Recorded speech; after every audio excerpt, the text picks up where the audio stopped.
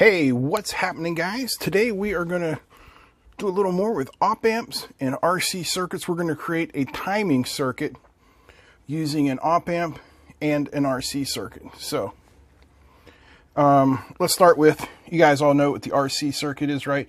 It's a circuit that uses a resistor and a capacitor.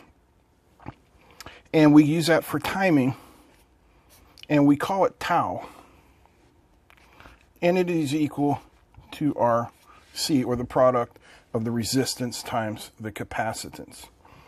So what we're going to do here is we're going to put together a cool little circuit that will do a delayed startup.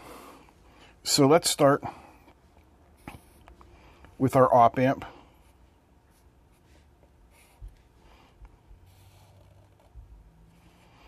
And this will be our positive rail. This will be our negative rail. Okay, so we'll create our RC circuit here. Put in a resistor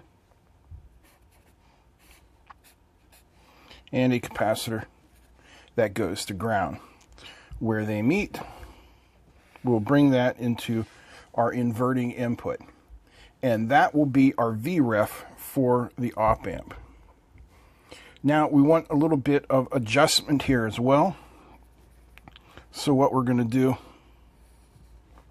is we're going to put in another resistor, but this one will be a variable resistor, also going between our positive rail and ground.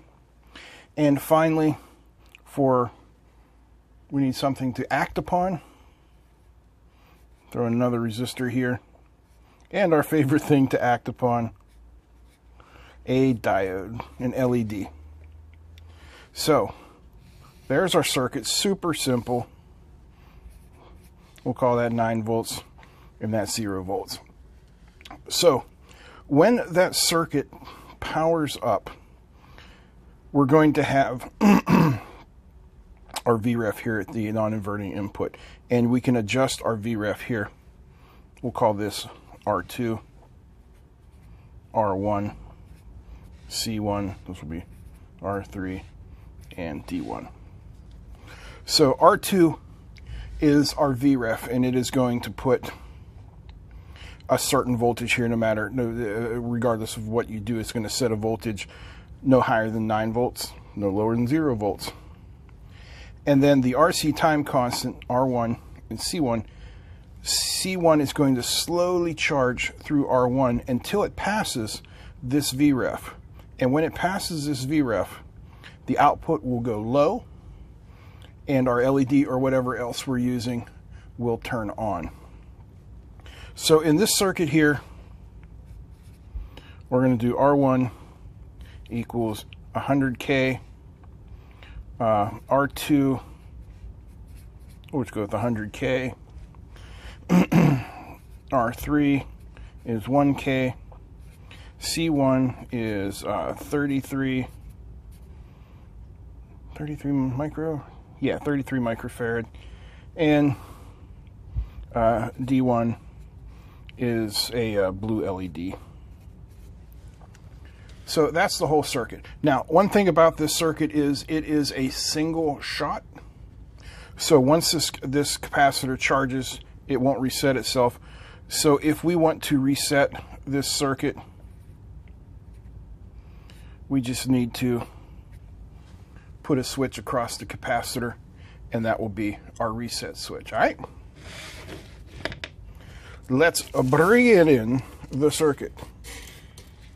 So here it is. Let's zoom in.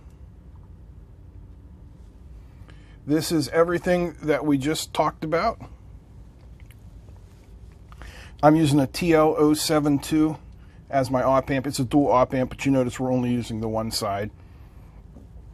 Excuse me. So here is our VREF coming into pin 3, which is our non-inverting input. Here is our RC circuit. Our This is R1 and C1.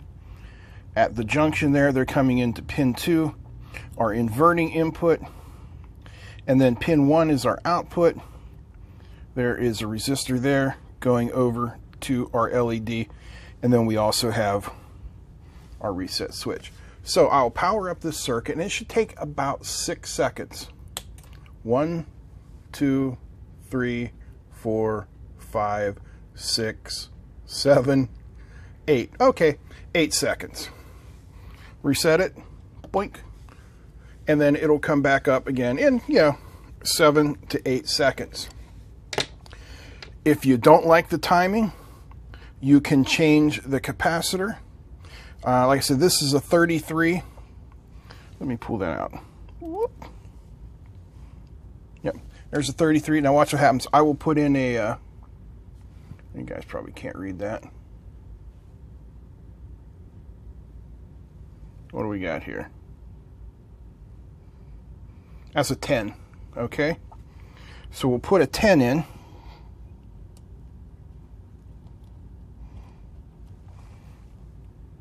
And let's count the time for, whoops. Let's get the time set for 10. Ready? One, two, three. So that gives you about three seconds. Let's see if I got something bigger. Okay, here's a 68 microfarad. We can put that in. One, two, three, four, five. Well, you get the idea. I'm not going to count out the whole thing. But this is going to take probably about 16 to 20 seconds since it's a little more than twice as big as our original one. Anyway, that's it for this video. A delayed circuit using the RC time constant and an op amp as a comparator. Hope you guys enjoyed it. If you did, give me a thumbs up. Feel free to comment, share. And don't forget to subscribe. That's it. I'm out. Peace.